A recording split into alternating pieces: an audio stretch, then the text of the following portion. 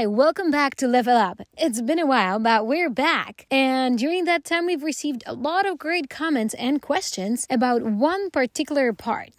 At the beginning of this video, we created a carousel with those circular pictures. And today, I would want to show you step by step how it was made.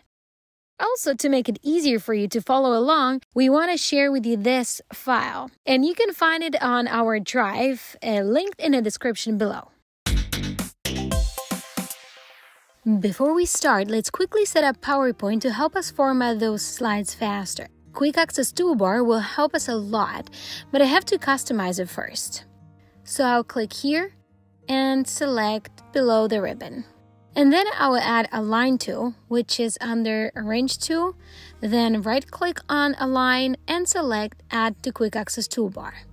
It appeared at the end of the list. And the order here is important, so I will remove this. So right click and select remove. If you want to learn more about Quick Access Toolbar, check out our other video. Okay, let's start. First, insert 5 pictures on your slide. It could be more than that, everything depends on how long your carousel would be. To insert pictures, go to Insert tab and click on Pictures. I already have mine on the slide. Let's change the shape of them to circles. Select all of them, go to Format tab,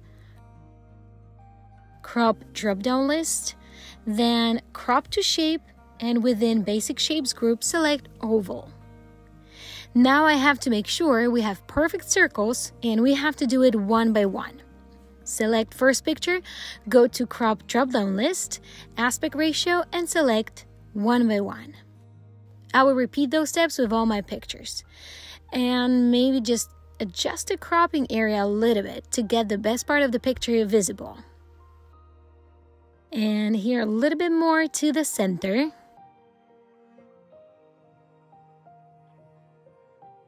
Okay, this one is perfect based on the size, but I would just click it again. Now it's time to resize, align, and distribute all of those photos. To make it a little bit easier, I would also add those two buttons to my Quick Access toolbar. Simply right click and select Add to Quick Access toolbar.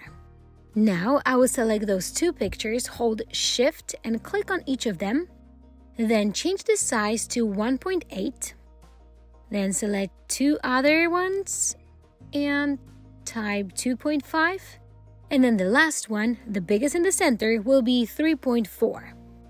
To align and distribute those circles, it would be much easier to have guides. To make them visible, right-click outside of the slide area, then go to Grid and Guides and click on Guides.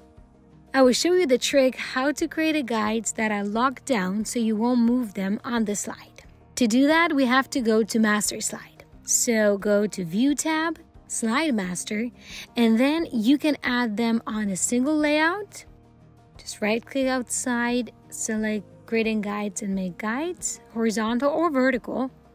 Or if you want it to appear on all of your layouts, go to the main slide master. And now I will create horizontal guide and make sure it's set up to 175. Small advice, if you want to get specific number, hold Alt key on your keyboard. And then when you'll be moving the guide, it will move much smoother. Close the master view and test the guides. Nice, it won't move. Let's align our circles. I will first select this one and align it to those guides top and left, and I'll repeat the same with the right picture. Now select all five images and top align them, and then distribute horizontally. We're going to use align a lot, so to speed up the process even more, I will start using hotkeys. Let me show you how that works. I'll select the picture, press Alt on my keyboard, then underneath each of the tools will appear number. And I have to just follow the path to get to specific tool. I have an align tool on the fourth position, so I'm to press 4 and then I can press any of those letters to activate each tool. Another small trick to make sure our circles are all perfectly centered on the slide is to select them all, press Ctrl G to group them, and then center align. Now I will create placeholders for the headers above each circle.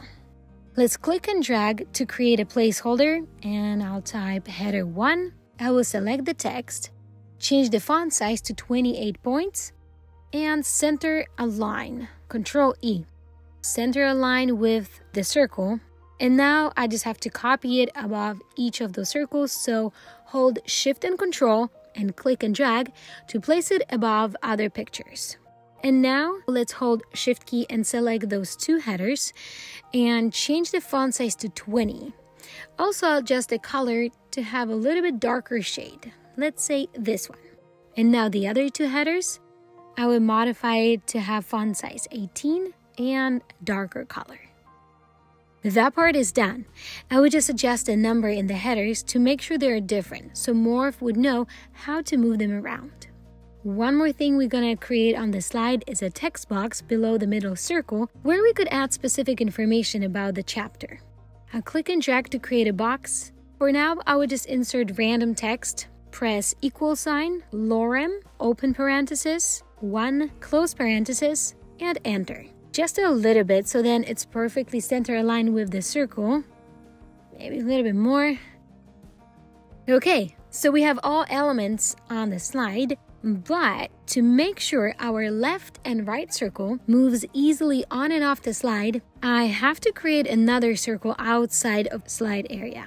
It's important to keep the same order of pictures, so I will select those two objects, hold shift and click on each, then click and drag to copy them on the left side, and then select those two, hold shift and control, and again copy it to the right side.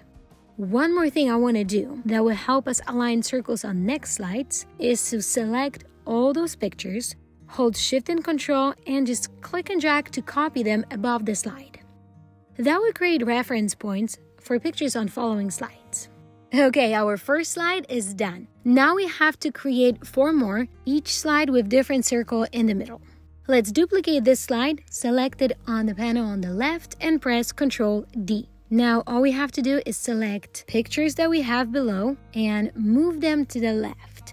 So then next picture will be in the middle of the slide. And now adjust the size and align all the pictures. I will select picture underneath the header 4 and change the size to 1.8 and then those two pictures to 2.5 and the last one 3.4. Let's align those two circles to the left and this one as well. Then select 5 circles in the middle and use hotkeys or simply select a tool to distribute horizontally.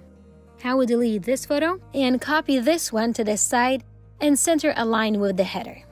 And now I will adjust the numbers in the headers. Another option, if you have real text in that headers, would be to copy paste text into each box or move boxes with circles but that would take much more time because you would have to adjust the color and the size of the text. So I'm just simply adjusting the numbers. Oh, one thing, I didn't align this circle. So I'll select both and first left align and then center align. Next, to make sure this text box will morph from slide to slide, I will add a number which will tell Morph that this is a new box because it contains different text. It won't move, but it will get fade in and fade out effect. Now the key point. Time to apply Morph Transition. Go to Transitions tab and click on Morph. Ooh, nice, we got some preview. But don't forget to adjust the duration to one second to have a faster movement. Second slide done and three more to go. So again, duplicate the slide, select all photos and move them to the left. I would delete this extra photo. Now resize circles 1.8 2.5, and 3.4. Then align left circle and right picture. Select all five and distribute horizontally. And it's also important to align circles with the headers outside of the slide. So the movement going outside of the slide will be much smoother and always the same. Now hold shift and control key, then click and drag to copy the picture. Now I will adjust header numbers 3, 4, and 5. Okay, we have to also change the number in the text box. And it's ready. Let's do it again. Duplicate, select, move to the left, delete this one, then align, select the photo and change the size to 1.8, then 2.5, and the middle one to 3.4. Now left align those two pictures and the one on the right. Select all five of them and distribute horizontally. Don't forget to adjust numbers in the headers. I will type 4, 5, 1, 2, 3, 2, and 1. And change the number in the text box to 4. Now hold Shift and Control key, then click and drag to copy the picture. And one more slide to go. Let's duplicate the slide one more time. Select pictures and move them to the left. Delete extra one and center align this picture with the header above. Another step, adjusting the size. You know exactly where it's going 1.8, 2.5, and 3.4. Next, align left this picture and the one on the top, and repeat the same with the picture on the right. Select all five of them and distribute horizontally. And now copy this picture to the side and then update numbers in the headers.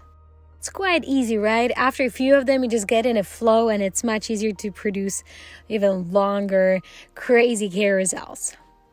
Last step, update the number in the text box. And we're done!